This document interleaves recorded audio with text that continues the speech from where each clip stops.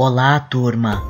Hoje vou falar de uma das criaturas mais belas da mitologia. Um cavalo com um chifre espiral em sua testa. Episódio de hoje: Unicórnio.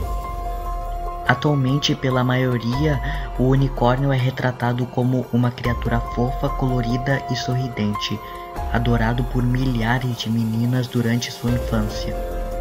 Mas hoje vou contar sua história no mundo da mitologia. Os unicórnios são seres míticos, considerados mágicos, presentes em várias mitologias da antiguidade.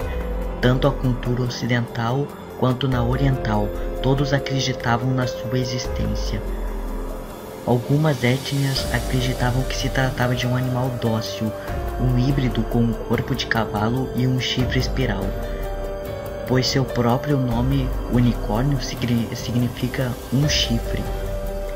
Alguns historiadores dizem que esculturas antigas podem ter alguma relação com o surgimento deste ser, pois tinham formas de touros e cabras, animais que têm chifres. Ele era dotado de poderes fantásticos, cujo chifre invocava energia mágica. Com ou sem mágica, seu chifre era sua única defesa, utilizado como uma espada para se proteger de caçadores. Alguns diziam que seu chifre se deslocavam em, em sua testa conforme sua vontade. Nenhum caçador tinha chance contra sua ira, com exceção dos que fossem exímios no manejo de florete. Contudo, os caçadores sempre encontravam uma forma de capturar o animal. Devido ao seu conhecimento, sabiam que o unicórnio era um grande amante da pureza e da inocência. Usavam uma jovem virgem como isca para capturá-lo. A colocavam no caminho de um unicórnio.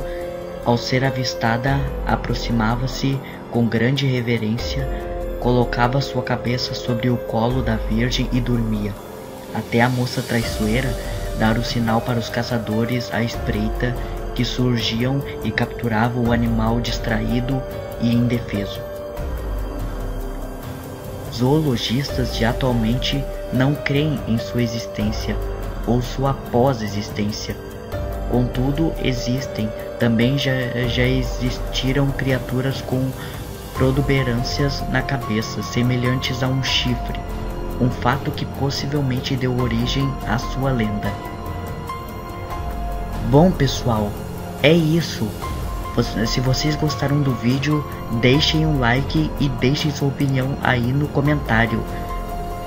Não se esqueçam de se inscrever, que cada inscrito é importante. Você estará fornecendo uma grande ajuda ao canal. Então, vocês todos fiquem na paz.